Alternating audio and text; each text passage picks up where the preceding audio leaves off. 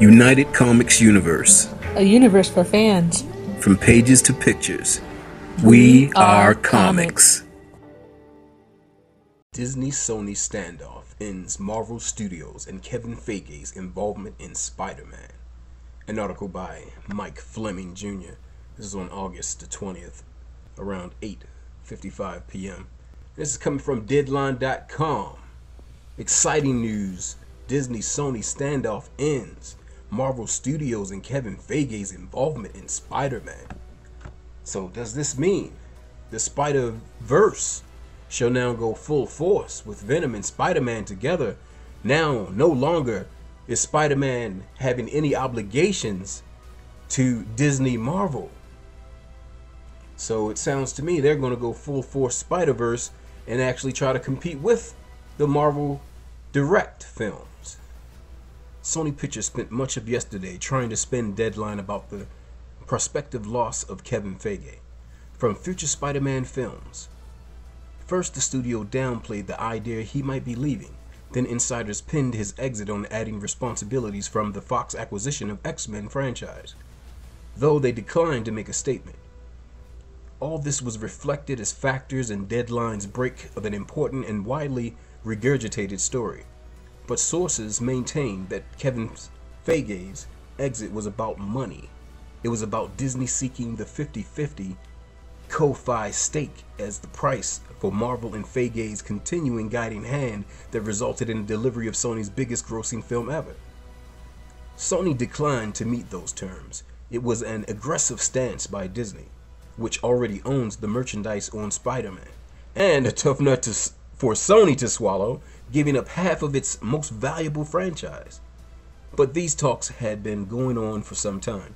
Had Sony agreed to Disney's acts, Marvel and Feige would not have withdrawn from Spider-Man films, sources said. Hmm. I'm really not too surprised by this. I pretty much expected this to happen at some point because I knew that that uh, Kevin Feige was not going to be be able to acquire Spider-Man because what Sony has shown so far that they value Spider-Man. So since they still value it, they're going to keep it. And Kevin Feige is probably like, you know what? It's no need to continue this. We can move forward and use those resources toward our films. You know, you would love to have Spider-Man in the MCU because it's Spider-Man, but since you can't, you got to do the next best thing. So he moved right along, as I would say. Sony issued a statement late in the evening, not denying anything Deadline revealed yesterday, but reiterating its stance that Feige was too busy, which seems like a spin. Deadline stands squarely behind its reporting. How important is Feige to the future of this franchise? We'll find out down the line. Sony is planning two more installments, though it is an open question whether those will include Jon Watts, director of the first two films guided creatively by Feige. Watts isn't signed on for the next film and isn't a certainly and isn't a certainty to be back as he is be being heavily courted for other jobs. Of course he is. Could Sony find itself baying against Marvel for Watts' future services as director? Here is Sony's late evening statement. Much of today's news about Spider-Man has mischaracterized recent discussions about Fe Kevin Feige's involvement in the franchise. We are disappointed, but respect Disney's decision not to have him continue as a lead producer of our next live-action Spider-Man film. A Sony spokesperson said that was. We hope this might change in the future, but understand that the many new responsibilities that Disney has given him, including all their newly added Marvel properties, do not allow time for him to work on IP they do not own. Makes sense to me. Kevin is terrific and we are grateful for his help and guidance and appreciate the path he has helped put us on, which will continue. Uh-huh. So basically saying they want everybody to know that we have learned from our experiences with Direct Marvel, aka Feige. So, we feel since we are never going to agree completely, we're moving forward with the new knowledge, and we want everybody to know that it will continue on and be, you know, good and have the same Marvel-esque quality. That's what they're trying to say, basically. They're saying that they have learned from the master and now they will go forward. And it will be just as good, so you may now watch the student as well as the master's films because they're going to be equivalent. Not going to happen.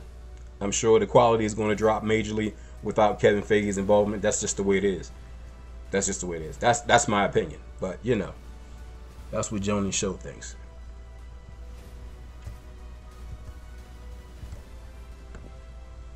Previous Deadline exclusive. Deadline exclusive. Marvel Studios president Kevin Feige won't produce any further Spider-Man films because of an inability by Disney and Sony Pictures to reach new terms that would have given the former a co-financing stake going forward. A, a dispute that has taken place over the past few months at the top of Disney and Sony has essentially nixed Feige and the future involvement of Marvel from the Marvel Spider-Man universe, sources said.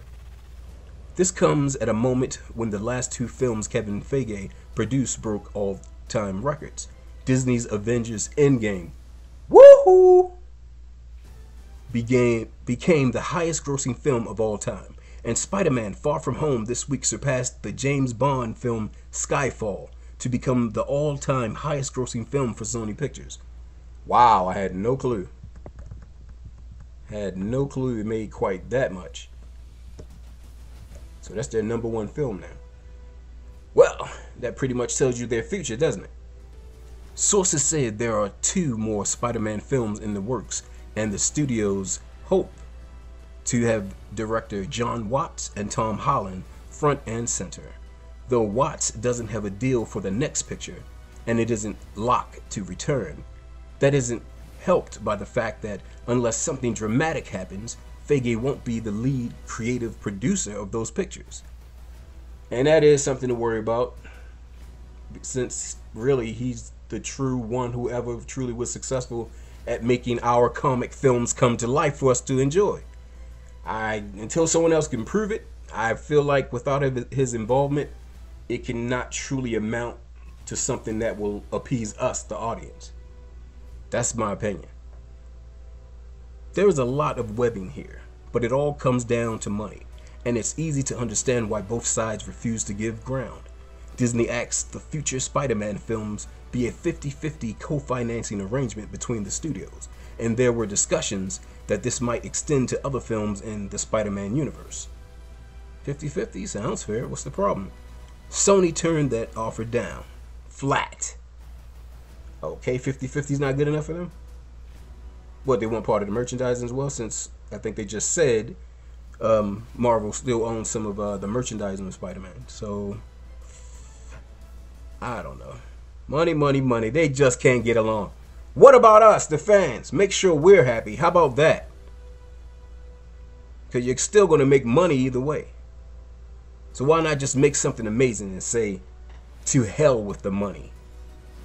Sources said that Sony, led by Tom Rothman and Tony Vinciquerra, came back with other configurations, but Disney didn't want to do that. But Sony did not want to share its biggest franchise.